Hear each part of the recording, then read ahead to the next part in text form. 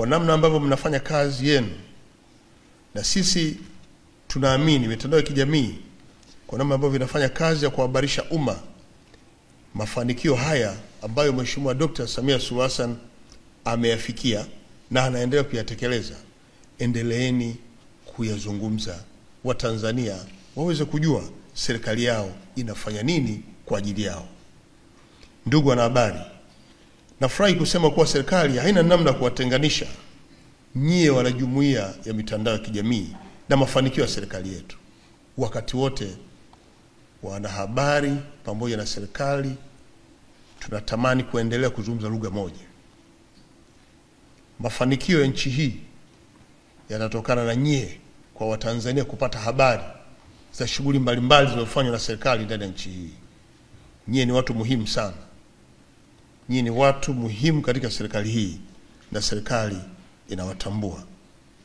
Tunatambua mchango wenu, tunathamini mchango wenu, tunaheshimu mchango wenu, na hivyo tunaendelea kufungua milango kwenye serikali na wanahabari kuja kueleza na kushauri namna bora ya kufanya shughuli zenu. Mheshimiwa Rais ameunda wizara maalum inayoshughulikia habari na Mheshimiwa Waziri yuko pale na ameeleza mkakati wa serikali na namna anavyofanya kazi na nyie, na ndio kwa sababu mimi nilipoanza speech yangu nilikuwa nampongeza yeye kwa sababu nimehudhuria makongamano kama haya mengi ya sekta za habari. Nimehudhuria Clouds, nimehudhuria Star TV, nimehudhuria pia tena hapa katika Dodoma, na leo niko hapa na wanahabari wa mitandao ya kijamii. Hii ni alama tosha kwamba wizara iko bize, inafanya kazi yake vizuri, inawaunganisha wanahabari na wanahabari wanaenda sasa kwa kategori. Huku ni mitandao ya kijamii leo.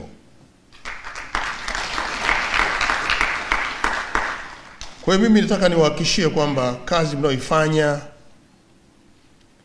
ya kuwahabarisha Watanzania ni muhimu katika serikali, na serikali tunaunga mkono katika majukumu yenu, na kwa kweli wamiliki wa mitandao ya kijamii mnafanya kazi mzuri ya kutangaza na kusambaza taarifa ambazo hukuza uelewa mpana kwa watu wetu, lakini pia sio tu kwa kupana hiyo, lakini pia mnahamasisha ukuzi wa maadili kwa jamii yetu, jamii yetu ambayo sasa tunatarajia kuwa na jamii yenye uadilifu na heshima, itaendelea kuwa na heshima na uadilifu kutokana na kazi mzuri mnayoifanya.